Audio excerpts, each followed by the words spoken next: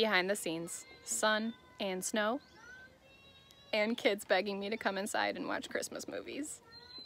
It's just the season, guys.